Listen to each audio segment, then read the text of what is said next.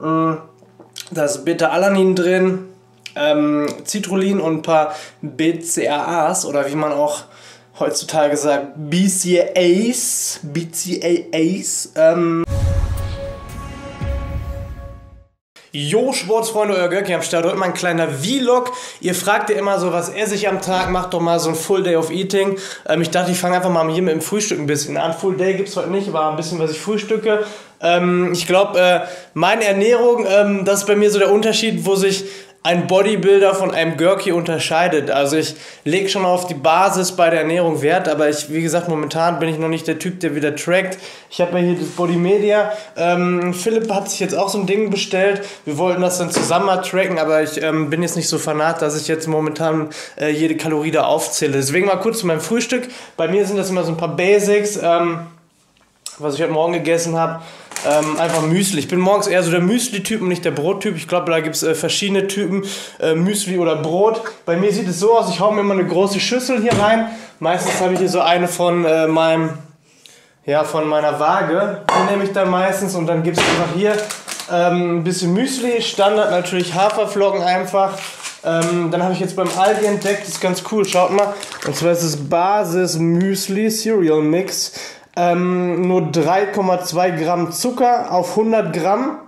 Und ähm, das ist jetzt so, ja, so eine, äh, hier Kern, Samen, ähm, was haben wir alles drin? Haferflocken und so weiter und so fort. Also es ist einfach eine gute Grundbasis für ein Müsli, ja, nichts Besonderes, aber es ist ein bisschen knackiger als nur die Haferflocken.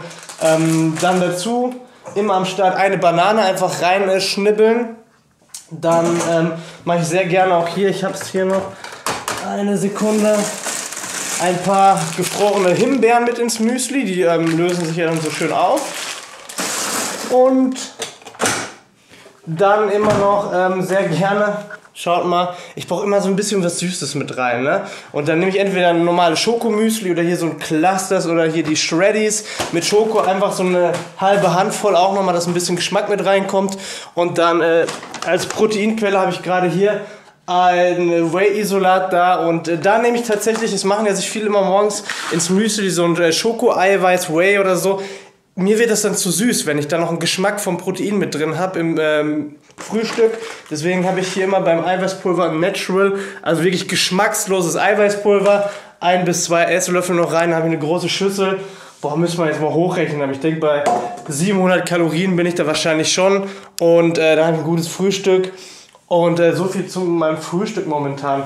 Wie ihr seht, da habe ich auch mal so was ganz wichtig bei mir ist, damit ich überhaupt zunehmen kann und was draufkommt, sind so Snacks für zwischendurch. Ich habe dann echt momentan sowas esse ich gerne, Finn Crisp, ja, einfach so ein ähm, Roggenvollkorn Knäckebrot, das haue ich mir zwischendurch äh, rein. Und jetzt habe ich auch noch gefunden von Corny gibt's ähm, Haferhonig, das sind so Hafer ähm, Blöcke, so kleine, ein bisschen süßer, aber schmeckt auch relativ gut. Wie sind die Nährwerte? Ähm, ein Riegel 20 Gramm, 3,8 Gramm Zucker da drauf, äh, Fett meine ich. Ja, ist ähm, jetzt nicht von Nährwert nicht das allerbeste, etwas viel Fett, also auf 100 Gramm 19 Gramm Fett, ähm, davon 8,3 Gramm Eiweiß, aber so, wer ein bisschen zulegen möchte, Corny Crunch, äh, schmeckt auf jeden Fall ganz cool. Ja, so viel einfach mal kurzes Update zum Frühstück, was ich so esse. Und ja, ihr könnt mich heute mal ein bisschen so hier äh, sehen, was ich mache, ne? Da bin ich wieder, Sportsfreunde, ähm, und gucken, was ich bekommen habe. Ein fettes Paket ist heute angekommen mit der Post. Und ähm, vorweg, ich werde von denen, die mir das geschickt haben, nicht gesponsert und auch nicht bezahlt. Ich schwöre auf meinen Tod. Und ähm, ich war sehr überrascht, weil ich habe keine Ankündigung bekommen, keinen Anruf, keine Mail, dass die mir was zuschicken. Und zwar habe ich von Smilodogs ein Paket bekommen. Die haben auch schon mal, mal irgendwann was zugeschickt. Und zwar sind es Klamotten, so ähm, Stringer, so typische Sport-Fitness-Klamotten. Und wir gucken einfach mal rein als Dankeschön dafür, dass die mir das zugesendet verwendet haben, ohne dass sie gesagt haben, äh, haltest du die Kamera oder sonst was. Und ich finde, äh, als äh, Gegenleistung ist es angebracht, das mal kurz zu zeigen. Deswegen gehen wir einfach mal durch. Und zwar ist es einmal hier so ein, also relativ groß, wenn ihr mal guckt. Ne? Ich mache mal hier ein bisschen Licht. Schon viel drin, würde ich sagen. Wahrscheinlich so die Winter Collection. Eine Jogginghose. Dann äh, Stringer am Start. Äh, Nochmal ein Stringer oder Tanktop wahrscheinlich. Jogginghose, relativ viel. Pullover, äh, Hoodie, Hoodie. Ich muss das mal ähm, auspacken und mal tragen, dann zeige ich euch das nochmal. Ich will jetzt auch nicht groß für die Werbung machen, wie gesagt. Ähm, dazu wollte ich euch gleich noch was erzählen, vielleicht kurz. Und zwar, ähm, ach guck mal hier, Butz, Digga, das ist hier ähm, die Mütze. Das ist von Flying Uwe, wo? Flying Uwe. Kann ich auch mal kurz meine Meinung sagen? Ganz ehrlich, ich finde, Flying Uwe ist ein cooler Typ und vor allem, ähm, finde ich es richtig cool bei ihm, dass er einfach, er hat eine große Reichweite und er ist immer er selbst geblieben, ja. Von dem ersten Video an bis heute hat er sich nicht verändert und das kann man von den meisten hier auf YouTube nicht mehr machen, mehr sagen, die da Business gemacht haben, die haben sich hier komplett äh, zum Negativen in meinen Augen äh, entwickelt. Ähm, und so viel kann man zu Uwe sagen. Ich finde es ein cooler Typ. Mit seinem Kampfsport hat er auch noch so eine gewisse USP, was Besonderes. Und ich gucke ihn gerne an. Er ist wirklich lustig und informativ und äh, das kommt einfach cool mit dem Kampfsport. Also so viel zu Flying Uwe. Ich ähm, habe leider noch nie die Möglichkeit gehabt, ihn kennenzulernen. Vielleicht gibt es das irgendwann mal, wenn er das sieht. Äh, wenn er Bock hat und in Berlin ist oder ich in Hamburg, vielleicht kann man ja mal starten. Würde mich auf jeden Fall freuen. So viel dazu. Ähm, ja, ein paar Shaker noch. Mützen. Ähm, in dem Sinne muss ich auf jeden Fall mal einmal hier schon wieder ein Hoodie. Vielen, vielen Dank an Smilodox, Smilodox sagen. Äh, vielleicht helfen mal, wie das ausgesprochen wird. Und ähm, ja, ich, ich merke das die letzte Zeit und, und die letzten, eigentlich schon die letzten ein, zwei Jahre auch, dass halt immer wieder auch so Klamottenfirmen und äh, Unternehmen versuchen, ähm, mich sozusagen unter Vertrag zu nehmen. Ja, so eine Art Exklusivvertrag. Das heißt, die schicken dir Klamotten zu und zahlen dir dann noch ein nettes Sümmchen im Monat. Du kannst da tatsächlich echt so 1000 Euro oder sogar ein bisschen mehr im Monat noch mit extra verdienen, wenn du deren Klamotten trägst und ähm, äh, sozusagen das exklusiv machst. Und da ist für mich dieser knackende Punkt, wieso ich das halt nicht mache. Ähm, ich habe schon, ich trage halt gerne wieder die Klamotten, die werde ich auch sicher hin und wieder in meinen Videos tragen, aber nicht exklusiv. Und deswegen verdiene ich daran auch kein Geld, weil für mich ist halt diese Freiheit wichtiger zu sagen, oder die Freiheit zu haben, ich kann in jedem Video einfach das tragen, wo ich Bock drauf habe, muss nicht immer mit dem gleichen Emblem, mit der gleichen Marke rumlaufen. Äh, das äh, hängt jetzt auch nicht hiermit zusammen, dass ich jetzt ein paar eigene Sachen mache, äh, sondern einfach, weil ich einfach Bock habe, das zu tragen, was ich möchte beim Training, sowohl auch hier bei meinen Labervideos auf meiner Couch. Ähm, da sind 1000 Euro sind natürlich viel Geld im Monat, aber mir ist diese Freiheit zu sagen, ich kann das tragen, was ich will, einfach wichtiger. Ich weiß, ich glaube, ich bin da so ein kleiner Rebell, wie ihr schon festgestellt habt. Ähm, für mich ist diese Freiheit, machen und tun zu können, was ich will, immer noch viel wichtiger irgendwie als Kohle. Und ähm, ja, das ist halt einfach meine Einstellung, wieso ich jetzt nicht exklusiv ähm, immer nur das Gleiche trage. Ihr kennt es ja von anderen Kanälen, die tragen halt tatsächlich immer die gleiche äh, Kleidung in jedem Video. Und ich finde es teilweise albern, weil ich das nicht authentisch finde, weil wenn ich auf der Straße rumlaufe oder in meinem normalen Leben sozusagen, dann trage ich auch nicht immer nur eine Marke. Und es gibt halt viele coole Sachen, die mir gefallen und die möchte ich einfach auch tragen können, genauso in meinen Videos, ja. Jetzt geht es gleich ab zum Training und ähm, ja, hier so mein alltägliches Pre-Workout. Äh, Ritual. Ich sitze meistens vor dem Computer, check so ein bisschen Spotify ab, äh, welche Musik ich mir dann reinziehe beim Training, äh, relax noch ein bisschen, trinke mir so eine Art Booster. Booster heißt in dem Sinne jetzt keine Stimulantien oder kein klassischer Booster, sondern mh, mm, da ist Beta-Alanin drin, ähm, Citrullin und ein paar BCAAs oder wie man auch heutzutage sagt, BCAAs. BCAAs. Ähm, ja, dann geht's gleich ins Fitnessstudio bzw. ins Gym und ähm, ja, train hard, work hard oder work hard, play hard, wie auch immer. Scheißegal. Ähm, ja, ihr habt mich ja schon mal gefragt und deswegen dachte ich, kann ich das hier nochmal kurz ähm, aufgreifen, das Thema Kopfhörer beim Training. Ich habe ja ein paar zugeschickt bekommen. Einmal hier, das sind die von Soul Electronics oder Soul, die ähm, Run Free. Dann von Plantronics habe ich welche da. Und damit wir mal einen Vergleich haben, äh, das sind von Amazon welche, die sind äh, äh, XM Pro Bluetooth, die gibt es bei Amazon auf jeden Fall. Ähm, ich gucke mal, ob ich das hier mal so ein bisschen hinstellen kann und dann schauen wir mal rein. Ähm, ja, ist ein bisschen schwierig gerade hier. Ich gucke das mal, dass ich mal ein bisschen testet. Kamera abgestellt. Läuft. Ja, ähm, so einmal zu den Plantronics vielleicht ganz kurz. Das sind halt hier die ähm, Bluetooth-Kopfhörer. Das ist mal ganz cool. Man, das ist halt geil als YouTuber, muss ich ganz ehrlich sagen, vor allem als Fitness-YouTuber. Man bekommt halt ständig irgendein Zeug zugeschickt und ich feiere das extrem. Ähm, meistens sind es halt, halt, nur die Produkte, wo man halt keine ähm, Kohle für kriegt, aber ich finde das bei Kopfhörern ist völlig in Ordnung. Die haben auch einen gewissen Wert und äh, ich bin auch so ein bisschen so ein Spielkind. Ich freue mich immer, wenn ein Paket kommt äh, und dann gerade Kopfhörer, was cool ist. Das sind jetzt hier ähm, die Plantronics. Ich halte es mal rein, ich hoffe, man sieht es. Die Audioqualität ist ganz cool. Allerdings, was mich bei denen jetzt stört und ähm, ich habe so Ohren, so diese In-Ear-Dinger, vor allem mit diesen Bügeln. Das mag ich nicht. Ich mag persönlich keine Bügel, so Ohrbügel hier drüber. Ne? Und dann ist noch, um die Anpassung hier zu haben, gibt es hier im Ohr, schaut mal, ob ihr es seht, so ein kleiner Penüppel, das Ding hier.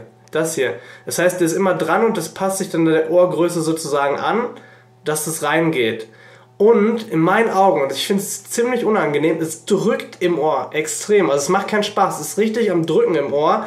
Und so ist es für mich fast gar nicht möglich, diese ja, Kopfhörer zu tragen. Die Tonqualität ist gut, aber es ist unangenehm, diese Plantronics in meinen Augen zu tragen. Ähm, Preis weiß ich jetzt gar nicht, müsst ihr mal nachgucken. Äh, Plantronic, ähm, Bluetooth, ähm, Kopfhörer. Ähm, so günstig sind die ganzen Dinger, glaube ich, gar nicht. Ja? Aber für mich ähm, sind die durchgefallen. Allein wegen diesem Bügel, weil es einfach für mich stört. Aber müsst ihr selber wissen, der eine mag das gerne mit Bügeln, der andere nicht. Also ich mag das nicht mit den Bügeln. Das ist äh, Punkt 1. Dann Punkt 2, diese MPO. Ja, sind noch schick eingepackt hier. Nochmal eingepackt. Ähm, sind vom Tragekomfort ganz cool, finde ich die. Man kann halt hier diese Dinger umändern, dass es reinpasst. Vom Ton sind sie ganz gut. Und ähm, der ganze Vorteil an diesen Dingern hier, die sind relativ günstig. Ich glaube, die sind vom Preis-Leistungs-Verhältnis, müsste man nachgucken, diese MPO, 30 oder 40 Euro nur. Also die günstigsten würde ich sogar fast empfehlen. Ja, ihr habt dann immer hier so eine Art äh, USB-Anschluss, wo ihr die Dinge aufladen könnt. So mit Akku läuft das Ganze, ne? Ganz cool. Meine Favoriten sind aber ganz klar die äh, Soul. Kommen halt in so einem schicken äh, Ding hier. Und ähm, aus zwei Gründen einfach. Einmal, wir haben ähm, hier, was wollte ich sagen, keine Bügel dran, keine Bügel. Und hier ist halt so eine Art Gummiteil. Das heißt, für mich passt sich das perfekt im Ohr mal an mit diesen Teilen, mit so einem Gummiding hier, was in die Ohrmuschel dann perfekt passt. Wir haben dann hier auch wieder, ähm, ich hoffe man sieht das, ich mach's mal auf. Äh. Hinter dem Emblem versteckt sich auch hier in dem Fall wieder der USB-Stecker. Man muss ehrlich sagen, mir ist hier, normalerweise ist dieses kleine Ding hier, da mal dran noch befestigt, ist abgebrochen. Da muss man sagen, ah, vielleicht äh, Verarbeitung auch nicht perfekt bei den Soul. Ist abgebrochen relativ schnell. Aber äh, wenn man es nicht verliert, auch ohne geht es natürlich weiter. Und ich feiere halt hier diese Steuerung, die ist direkt am Kabel. Also die Steuerung, um halt hier die Lautstärke zu verstellen, ist halt direkt hier an dem Kabel dran, äh, was ganz klassisch ist. Man trägt das dann im Endeffekt so hier drum und äh, einmal äh, Ralph Mode. Fällt eigentlich nicht raus und auch beim Joggen ist es gut. Ja?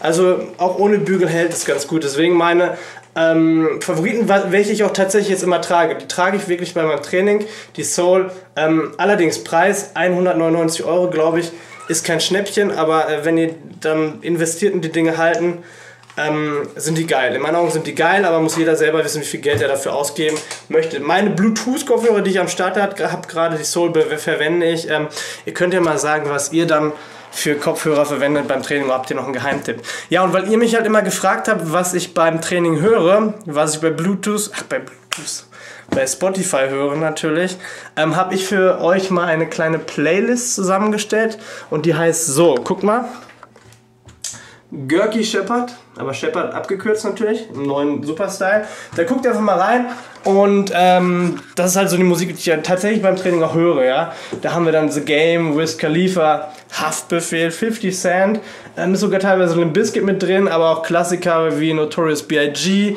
Eminem, Kanye West, Ice Cube, ähm, auch Shakusa mag ich zum Beispiel. Ne? Sowas ist drin, checkt das mal ab. Hat sogar schon, oh, schon, wie viele Follower hat die inzwischen? Hab's ja bei Facebook schon äh, geteilt. Schon 94 Follower, dann macht mir bitte die 100 voll. Ja, ich hau jetzt mein Getränk, mein Säftchen schnell weg und äh, dann geht's heute ab zum Training. Äh, Push Day, ich guck mal, dass ich die Kamera vielleicht noch mitnehmen kann. Wenn es euch interessiert, vielleicht kann ich dort ein bisschen filmen, aber meistens um die Uhrzeit relativ voll. Aber ich guck einfach mal, Push Day, ähm, ja, Bankdrücken, Kurzhanteldrücken schräg, ähm, ja, Flies einfach, fliegende und dann halt Trizeps Schulter, Schulter in der Military. Da habe ich bei sechs, sieben Übungen im Endeffekt. Ne? Ja, guckt einfach mal. Ich hoffe, so ein bisschen Quatsch heute hat euch hier gefallen. Bis dann und äh, schauen wir mal, ob wir uns gleich noch sehen. Jo, nochmal kurzer Nachtrag. Viele werden wahrscheinlich gefragt haben, wieso kein Kreatin im Shake ist. Ähm, ja, ganz äh, einfach. Kreatin kann man ja in der Dauereinnahme ähm, 5 Gramm am Tag das ganze Jahr übernehmen. Jeden Tag, kein Problem. Ne? Aber mir ist es jetzt seit drei, vier Wochen leer, habe noch nicht nachbestellt. Und ähm, ich bin momentan wieder so ein bisschen der Ansicht, dass es für mich ganz gut ist, mal ein paar Wochen ohne Kreatin zu arbeiten um dann wieder so einen neuen Schub zu bekommen. Auch wenn es nur oft Placebo und Kopfsache ist, wenn ich dann das Kreatin wieder nehme, habe ich auch wieder das Gefühl, ich habe mehr Power. Ja, es ist nicht immer unbedingt, dass es wirklich so ist, aber der Kopf macht da viel aus und deswegen arbeite ich oft dann mal, dass ich ein paar Wochen äh, kein Kreatin nehme wie momentan und dann, um wieder einen neuen Schub zu kriegen vom Kopf her ein klein, äh, kleines Plateau zu überwinden, haue ich mir das Kreatin wieder rein. Acht bis zwölf Wochen. Ich würde es nicht sagen, einfach eine klassische Kur, aber hin und wieder setze ich einfach mit dem Kreatin mal aus, um dann wieder einen neuen Schub zu bekommen. Ähm, so ähm, für mich ganz, ganz persönlich Bro-Science-mäßig funktioniert es ganz gut. Ihr könnt ja mal reintippen, wie macht ihr das mit dem Kreatin? Dauereinnahme oder Kur? Würde mich natürlich auch nochmal interessieren. So, jetzt geht es aber zum Training. Mein Roller ist ausgefallen, U-Bahn und Laufen.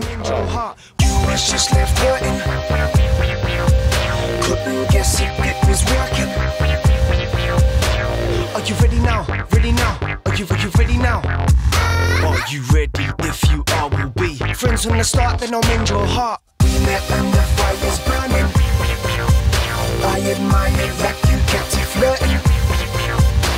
Are you ready now? Ready now? Are you, are you ready now? Ready now? Are you ready? If you are, we'll be friends from the start.